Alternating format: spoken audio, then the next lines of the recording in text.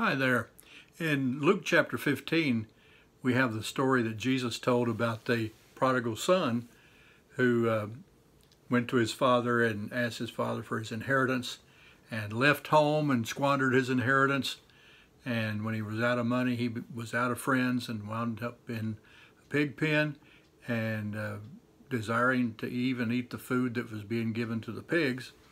And there in the pig pen, he had an epiphany and begin to uh, think differently about his life and realized that he had fallen about as low as uh, anyone could fall. And he decided, I'm going to go back to my father's house.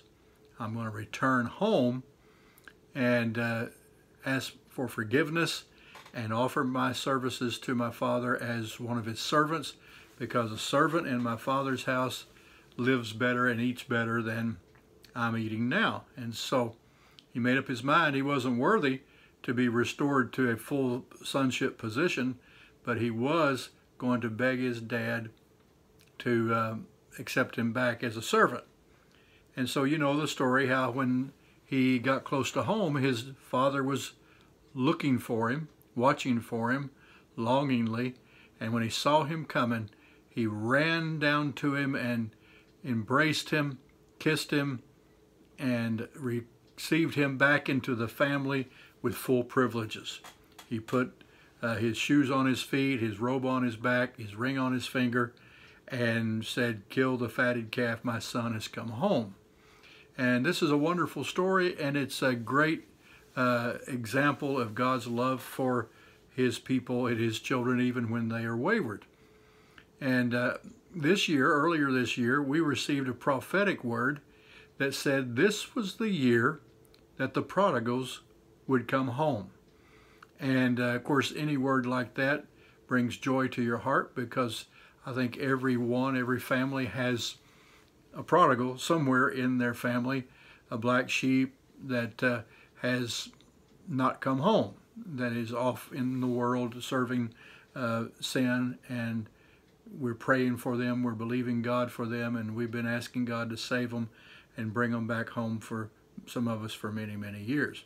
I think every family has at least one and sometimes many. Sometimes uh, uh, a person gets saved and they're the only one in their whole family that is saved and they're praying for their whole family to come in. But this was great and a wonderful, encouraging prophetic word. And we took it to heart and we began to rejoice that this was a year for prodigals to come home. And then just a few short weeks, we had uh, uh, some people in our church uh, uh call us up and, and said, my sister is uh, dying and she has accepted the Lord on her deathbed. And we just rejoiced with her that her, her sister was in heaven now and uh, had made it in, even if she had to receive the Lord uh, right before she died, it, we, she's still in heaven, and we are rejoicing with her family over that prodigal that came home. And then just a, a short few weeks later, one of the uh, older couples in our congregation called up and said, Our son in law, who's middle aged, has been away from the Lord all his life, has just been saved, and we're going to miss church on Sunday because we're going to go to his church and and um, witness his water baptism. Well, we were just excited, elated, and rejoicing with this couple because of this son-in-law prodigal who had come home.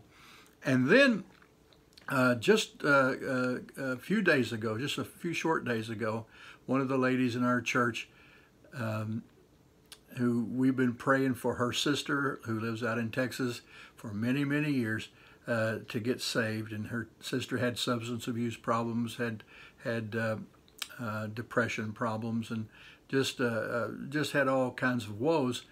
And this sister has come home. This sister called her up and said, "I just felt the peace of God come over me, and and I have received the Lord, and I just want you to know." that uh, all is well with me.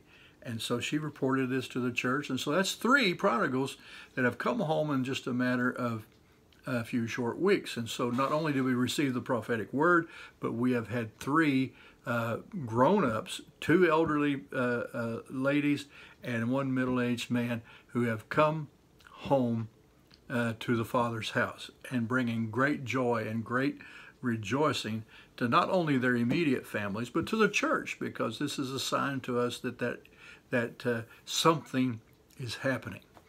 Well, just uh, uh, a couple of nights ago, I had a dream.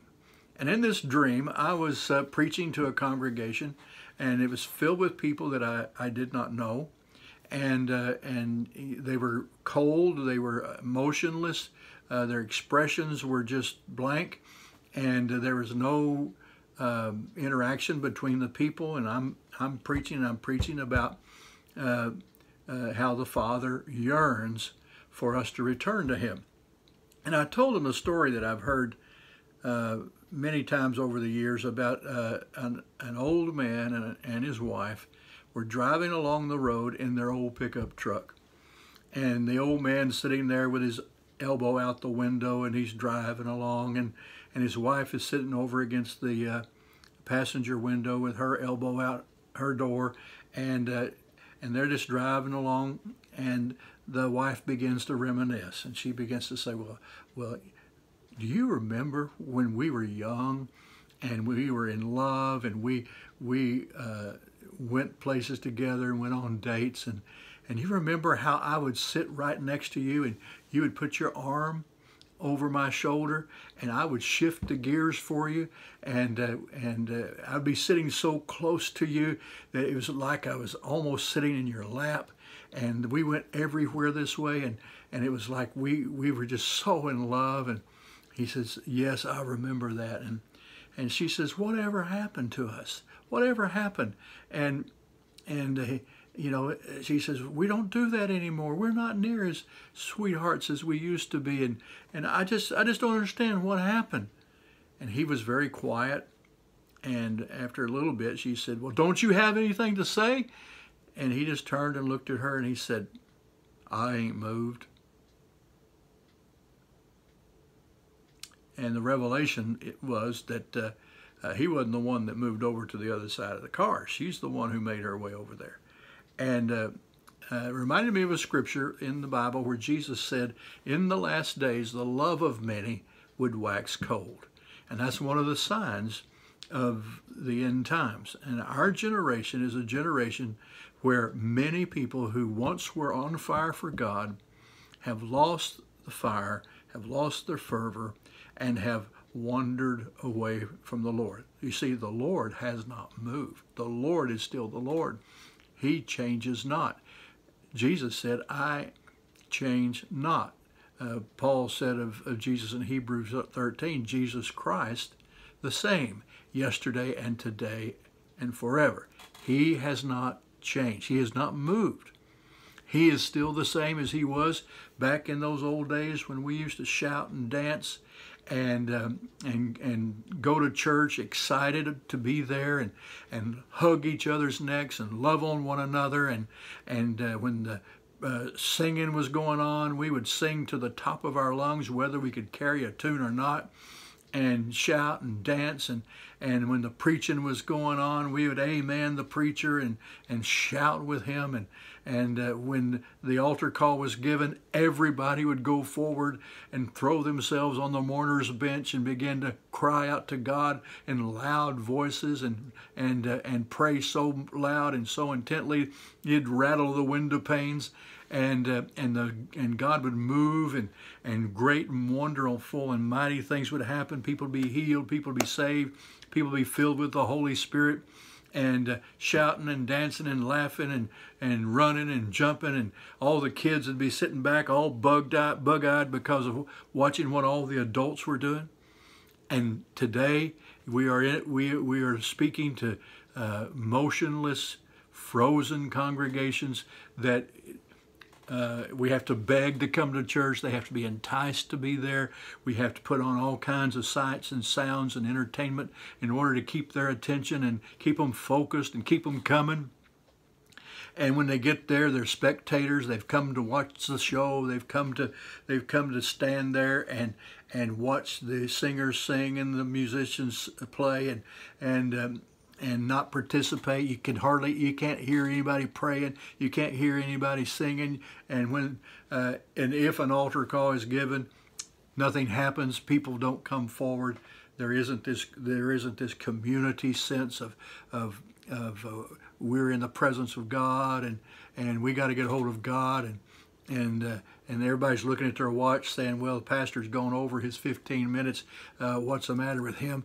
And people uh, rushing in and rushing through and rushing out so that the next group can come in and do the same thing.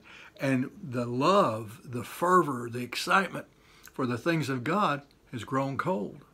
But see, God hasn't changed. God is still the God who wants to spend time with his people, the God who wants to love on his people, the God who wants to do things for people, the God who will hear our prayers and answer our prayers. He's like that prodigal son's father who stands there on the front porch and longingly looks out, hoping for and, and praying for and hoping that this will be the day I will see my son return to me. And God is calling to us. He said, return to me. I haven't, I haven't moved. I have not changed.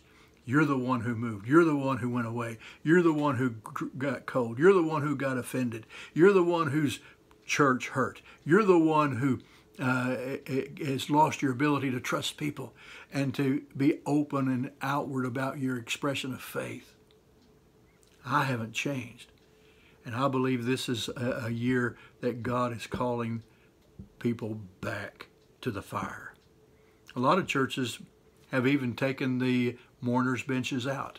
Uh, they, uh, the altar area, and they've they've cleared all the furniture out of the altar area so people can come down and, and dance, even though they don't dance anymore. Or people could come down and, and stand there and be prayed for and fall out in the floor and not have anything to fall onto, uh, even though that doesn't happen anymore. And they've they've uh, a lot of churches especially the larger churches, have taken up that space with more rows of seats so they can get more people in, and there's no more room for people to gather at the front of the church. There's no opportunity, no time allotted for them to linger in the presence of God and soak in the glory of God and be be in the presence of God for an extended period of time to the point that their their facades will begin to melt and their um, joy would return to them and their manifestations, their reactions to God's power would be more evident and visible. We've lost the art of loving one another, hugging and and embracing one another and and uh, spending time in fellowship with each other. But God's calling us back.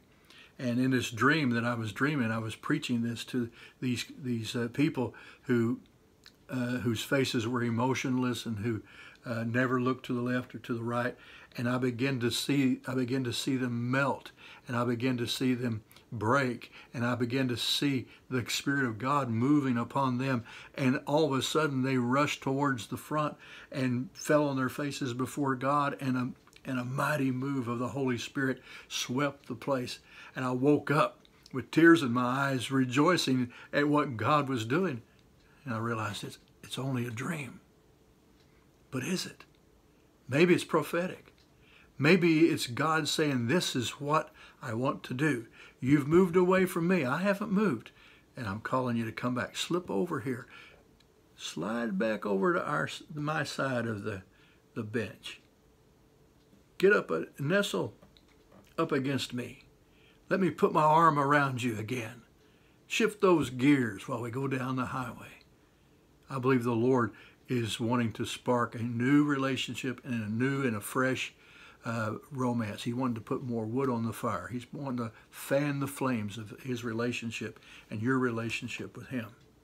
Let's answer the call of God, not just thinking, well, this is the year that those people, those prodigals, them over there are going to return to the Lord. But let this be a year where every one of us who has slipped and slid away or who may have grown a little colder in our relationship to God and therefore in our relationship to the church, our relationship to each other. Let's rekindle the flame. Let's take some initiative. He hasn't moved. So let's move back to him. Let's go back.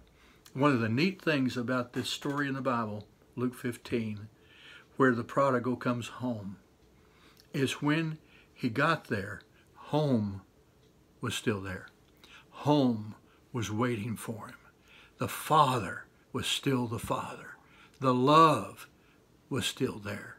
The warmth was still there. I pray that when prodigals return home to us, that home will still be there for them. That the love, the warmth, the joy that they remembered before they left, the excitement and the fervor and enthusiasm will still be there.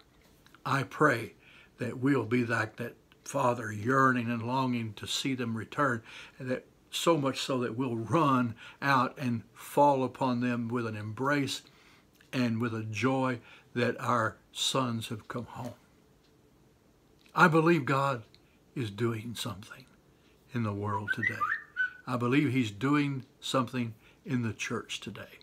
And I invite you to be a part of that. Join in with me as we rekindle the flame of our excitement for the things of God. Amen. God bless you, and let's just do it.